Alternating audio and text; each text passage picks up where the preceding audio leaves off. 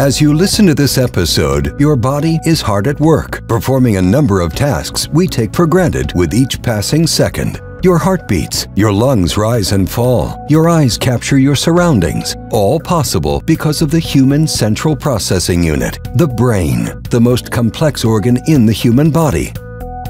Since the dawn of time, mankind has maintained a fascination for understanding the inner workings of the human body. Mapping the brain for exploration, ancient civilizations, scientists, and neuro-innovators set out to comprehend the vast capabilities of this mere three-pound component of the nervous system. It was believed that the heart, not the brain, was the central organ of the body. Egyptians were so convinced of this that they discarded the brain during mummification. It was not until 450 BC that Greek physician Alcmaeon concluded that the brain, not the heart, was the central organ responsible for sensation and thought. An early neuroinvestigator, Alcmaeon dissected animals for anatomical accuracy, discovering that optic nerves were the pathways to the brain and eyes. Over time and continents, the brain continued to draw physicians, biologists, and scientists of all types to the study of the inner workings of this essential organ. For example, in 300 BC, Alexandrian biologists Herophilus and Erasistratus discovered that intelligence lies within the brain as well. In 170 BC, Galen, the physician to Roman gladiators, concludes that mental faculties of emotion, memory, cognition, and the senses are all controlled within the brain. In 1543, a Renaissance anatomist named Andreas Vesalius published the first known neuroscience textbook entitled On the Workings of the Human Body. This is the first publication to illustrate the workings of the nerves and the brain. Building upon Vesalius's publication, in 1664, Oxford professor Thomas Willis wrote a monograph detailing the anatomy and physiology of the brain, entitled Cerebri Anatome. Historically, this publication set into motion the knowledge neuroscientists would build upon in the centuries that followed. Willis focused on the functional attributes of individual brain parts, primarily the cerebral hemispheres and specific mental functions. Willis determined that the cerebral hemispheres differ in what they control, such as thoughts, actions, and motor skills. As the central component of the nervous system, the brain is composed of several parts, performing varied and discrete functions. The cerebrum contains the left and right hemisphere of the brain. The left hemisphere is responsible for thinking, memory, reasoning, and voluntary muscle movement on the right side of the body. Thoughts and speech originate from this hemisphere of the brain. Those who are left brain thinkers are often characterized as logical, analytical, and mathematical. Alternatively, the right hemisphere controls imagination, creativity, and abstract thought. Those who are right brain thinkers are often characterized as artistic, musically inclined, or as having a sixth sense intuition. Each hemisphere of the brain controls the opposite side of the body. The left side controls the right side voluntary movements and vice versa. The brain's cerebellum controls motor functions such as balance, movement, and coordination. Without the cerebellum to guide your movements, you would not be able to walk, dance, or swim. The brain stem. This section connects the brain to the spinal cord. Acting like a natural message filter, the brainstem sorts out millions of messages that travel back and forth in the body. The brainstem regulates involuntary movements like breathing, digestion, and blood circulation. The hypothalamus controls physiologic functions such as body temperature, hunger, thirst, and reproductive behavior. For instance, on a hot, humid day, your body will sweat, Sweating regulates your body's temperature to maintain 98.6 degrees. The pituitary gland is small, about the size of a pea. It has direct connections to both the brain via the hypothalamus and the very important system of endocrine glands.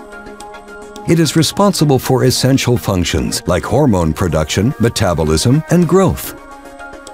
This small gland plays a vital role in body development Biological milestones like puberty and menopause are a direct result of the hormones produced in the pituitary gland under the direction of the hypothalamus. The human brain consumes 20% of the energy in the body, yet takes up only 2% of the total body mass. This impressive amount of energy is utilized to maintain brain cells and fuel nerve impulses that fire up the 100 billion neurons in the brain. 23 watts of power. The brain stores, organizes, retrieves, and interprets information from the environment, monitor our senses, regulate body functions, and help protect us from harm. How we view the world is created here. How you feel about a certain experience today may be quite different at another time in your life, depending on the signals your brain receives and perceives. Sensory information is sent to diverse areas of the brain and can trigger intense emotions. Circuits in the brain store memories and give meaning to what we see and hear. For example, your brain will store this memory on a circuit which you can then access at a later time. The central processing of the brain never shuts down completely, even while sleeping, with a speed of at least 260 miles per hour, information travels between neurons in our brain to the spinal cord. The spinal cord then acts like a conduit for nearly all impulses to and from body parts to the brain. Essentially, the perception of the outside world is reliant upon our response to sensory information. Neurons fire faster when intensity increases, the more intense, the more likely it is your brain will respond to the stimulus. For example, if you are home alone watching a scary movie, your heart rate might increase, your sense of fear will heighten. Your perception of your environment is dependent upon your response to the fear stimulus. Your brain is hard at work to decipher the information presented before its eyes. Is the fear real? Neuroscience deals with the anatomy, physiology, chemistry, and biology of the nervous system and brain. Today, neuroscience research involves many fields of study, from molecular biology to genetics to psychology. Neurogenetics, or the study of the role of genetics in the function and development of the nervous system, has revolutionized the face of assessments for genetic degenerative disorders, epilepsies, and movement disorders. In 2001, the Human Genome Project sequenced and mapped our genetic makeup. Because of this, intrusive procedures and assessments have been replaced by a simple and effective blood test to determine molecular sequencing in the human body. As part of the White House Brain Initiative, scientists have better understanding of the complexities of the brain through the process of brain mapping, where specific brain cells illustrate genetic activity consistent with certain diseases or behaviors. These advancements in detection highlight early recognition of disease and future solutions, opening a wider window for treatment. Advancements in psychology have also occurred at a rapid pace in the last decade. Cognitive Behavior Therapy, or CBT, is a talk therapy that originated in the 1960s and 70s to treat phobias and anxiety disorders.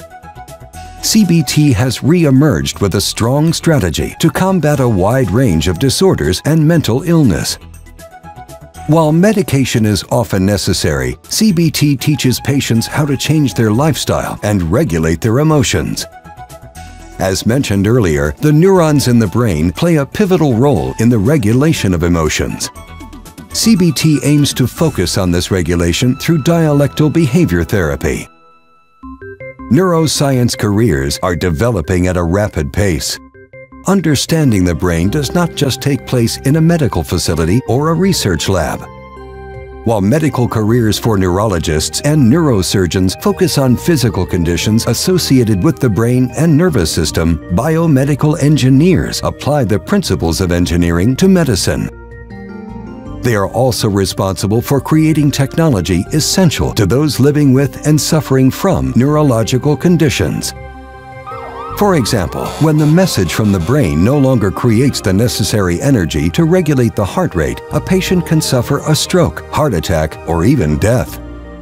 biomedical engineer Wilson Greatbatch created the pacemaker, an artificial device that is implanted in the body and hooked up to the heart to stimulate the muscle to regulate its contractions.